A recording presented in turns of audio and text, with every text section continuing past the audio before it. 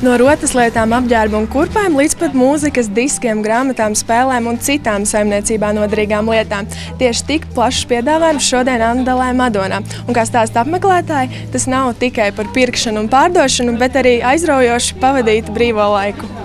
Super, esmu ļoti, ļoti, ļoti priecīga, ka beidzot tas ir noticis, kad arī Madonai ir kaut kas tāds, kas jau sen ir Rīgai un arī par, par atsaucību cilvēku. Esmu ļoti, ļoti patīkami pārsteigta, jo, nu, kad, kad mēs te ieradāmies, nu, tad, tad nebija kur apgriezties. Un arī nu, super atbalstītājiem un, un, un, un, un organizētājiem, kas to visu ir vispār to ideju, kas, lai, lai Madonā būtu Andelei vienkārši cepurnos un kāja virsū. Tā pirmām kārtām ir pašu cilvēku nu, tāda iniciatīva un vēlme šeit piedalīties un, un būt. Mērķis noteikti ir sasniegts. No rīta tie, kas ieradās agrāk, mums pat bija nelielas rindas, un tas darīja tiešām gandarījumu.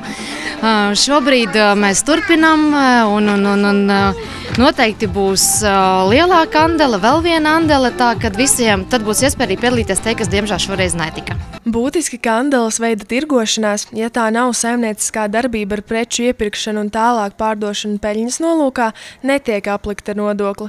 Tā ir iespēja sev nevajadzīgas, taču citam noderīgas lietas pārdot, iemainīt vai uzdāvināt, gūstot prieku, gandarījumu un reizē arī nelielu pienesumu savam maciņam. Drebīts, kas ir uzkrātas laikā, es labprāt viņus dotu kādam tālāk, jo Ir lietas ar ļoti labu kvalitāti, un sievietēm vienkārši patīk mainīt drēbes. Vispār lietas, un līdz ar to ir forši, ka, nu, ka viņš nestāv skapī, nestāv mājās, un jā, var dot tālāk. Šī ir interesanta sestdiena, ne tā kā vienmēr. Līdz ar to bija, protams, jāparosās arī pašai, lai šo visu sagatavotu. Šis tas ir notirgots, vēl, vēl ir laiks tikai pusē. Es ceru, ka cilvēki paliks arī aktīvāki, un es noteikti piedalītos vēl. Jā.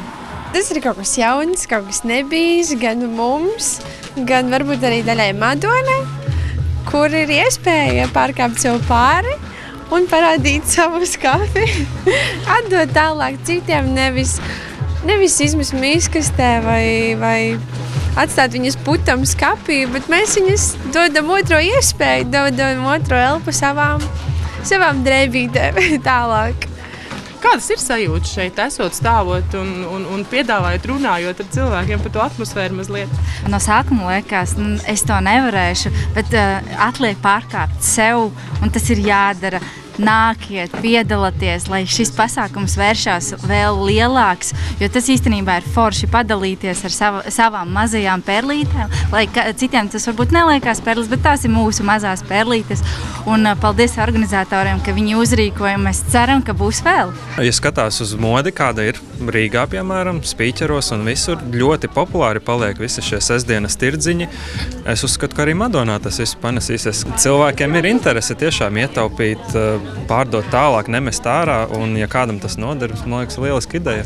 Būtiski kandelēšanās Madonā, pateicoties brīvprātīgiem darbam un Madonas novada pašvaldības atbalstam, šoreiz bija bez dalības maksas. Ņemot vērā lielo atsaucību un pircēju ieinteresētību, nākamā andela Madonā varētu būt jau pavisam drīz.